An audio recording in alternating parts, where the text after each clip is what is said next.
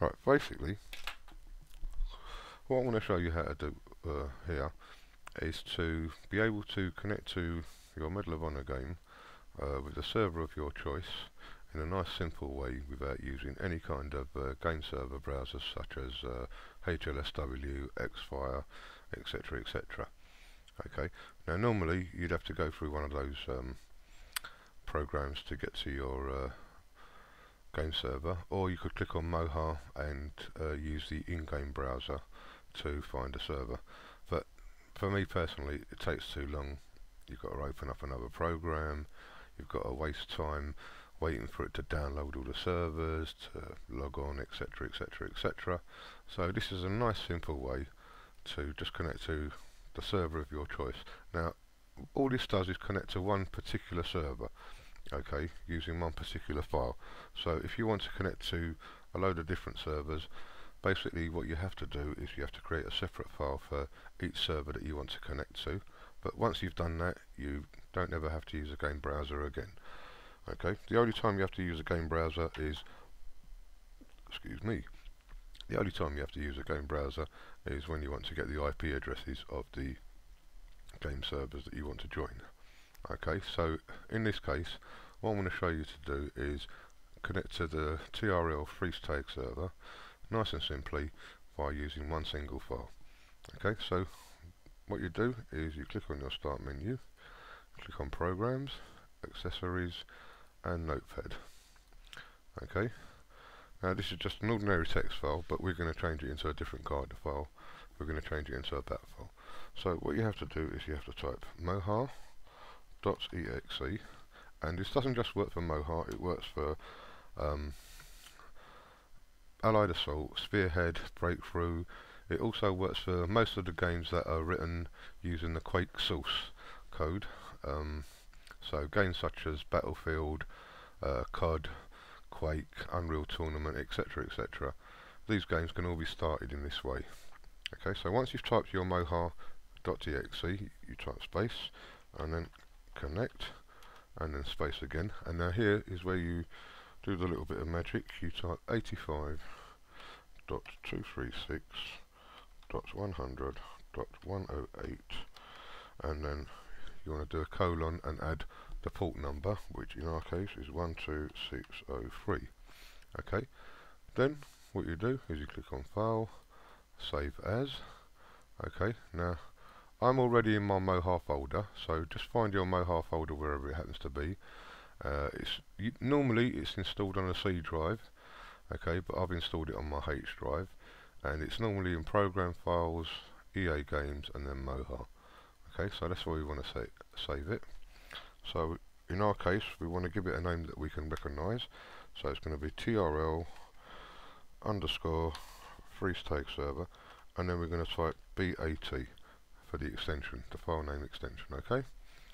So you click on that, and then if you go to your Moha folder, you'll see that a little file's been created which says trl underscore freeztag.bat.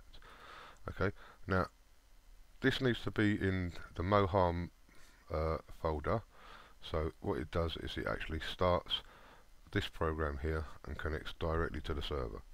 Okay, now in order we don't want to open up this folder all the time every single time we want to connect to this server. So there's a ni nice little trick we can use.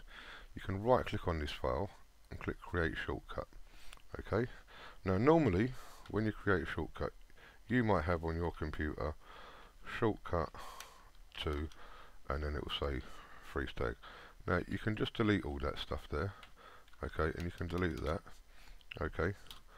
And it's just now called TRL freeztag Okay, now again, right click on this and select properties. Okay, and you'll have this little window open up here. Okay, leave all this part as it is and the same there.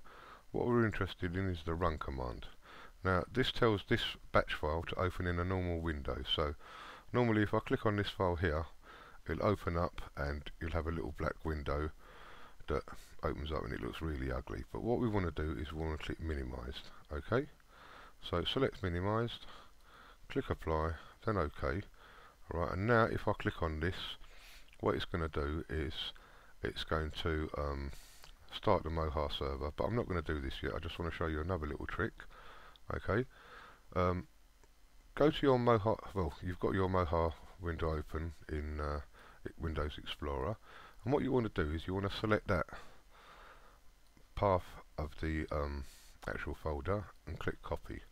Now what we're going to do is we're going to right click on this and click on properties again okay?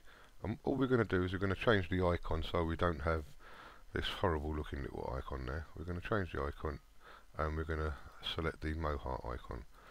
So you click open and this little window will open up here you click paste there and then open and what you want to do is you want to select the Moha executable file. So select that click open and now you can see that this icon appears. Click OK click apply and then click OK. Now if you see our shortcut here as you see here it says shortcut okay it's now changed to the actual Moha icon with that little up arrow there and again we don't want to go open our Moha games folder every time we want to uh, connect to the server. So what I would suggest you to do is um, right click on that and you can either cut it or copy it okay? I'll copy it in this case and then we're going to paste this onto our desktop okay? So you can either do it the way that I've just done it now or you can right click copy and then go to the Windows Explorer thing select desktop from there and if you want to you can right click and then paste it. Okay? And that's all there is to it. Now all we're going to do is we're going to close that little window there and we're going to just click on this and it should start up the Moha game and connect directly to the server. Okay? And basically all I want to show you is that we're connecting to the server. There you go it says connecting to the server. And as you can see it's just connected straight away and we're there